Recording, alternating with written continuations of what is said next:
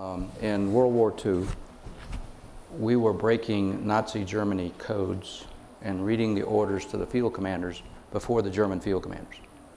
Now, the historians have written about this and they've, they've indicated it probably shortened global conflict anywhere from 18 months to two years. So now, I would challenge a journalist to say if you had that information, in the interest of transparency, would you have made it public? Could I one thing to make it, mo- I, I mean, I think that the question is who decides? Right. Uh, I'm, not everything that we classify should be classified. Agreed. The, the executive branch is overclassified forever. The reasons you classify, the only reasons you should classify are to protect sources and methods. Therefore, if, if that really happens and classified material leaks, people die and, and our capability going forward is compromised. That's what classification is for. Obviously, it's broadly used to protect turf, to protect people from embarrassment, and that's a problem we have to solve.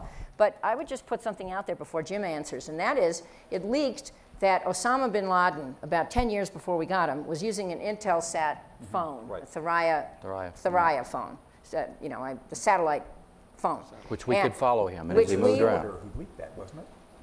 I don't remember who I thought leaked it was that. Lieberman.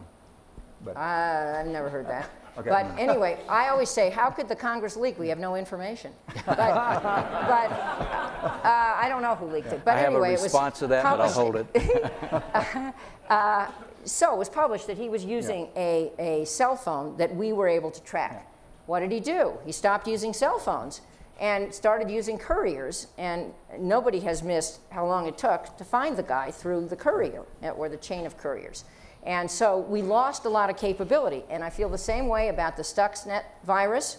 Um, won't disclose who was doing that, but it's certainly been in the press that that happened.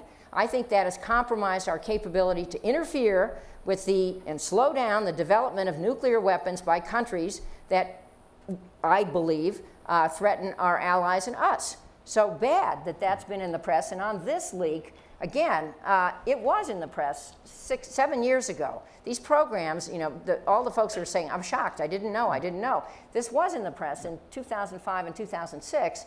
And it caused Congress, that was when it occurred to some, some of us, that the administration wasn't following FISA, to amend FISA to bring all of this stuff under strict safeguards with a federal court reviewing this stuff and Congress being more fully Jim, do you mind a comment before I go back to Mike? sure.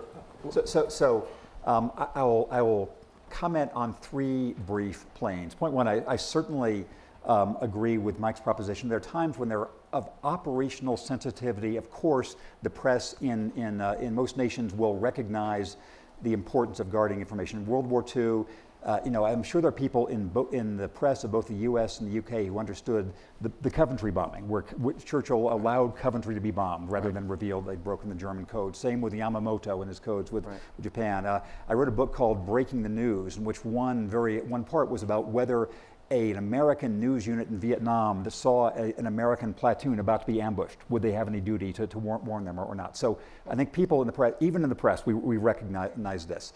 Um, point two would be to say, yes, when it comes to information surveillance, we recognize the concept with Stuxnet, with the Osama bin Laden leak, that that changed, behavior. I think the belief in the press is that most of these leaks actually come, they are usually voluntarily given either by executive branch or legislative branch people. Uh, that, that's as you, you probably know, know too. In this, now if we come to the instant case of this guy Snowden, whose motives we don't know the benefit so so the harm is knowledge that information broadly is being collected more than many people um, recognized. It seemed to me that every spy movie spy thriller and documentary over the past 10 years has turned on this basic plot point. You don't use cell phones. You know osama bin laden lived in a compound because they knew that something like this was happening and yet the public wasn't debating the actual programs because they weren't brought to attention. The president has said it's good we're having this debate. We wouldn't have it without this episode.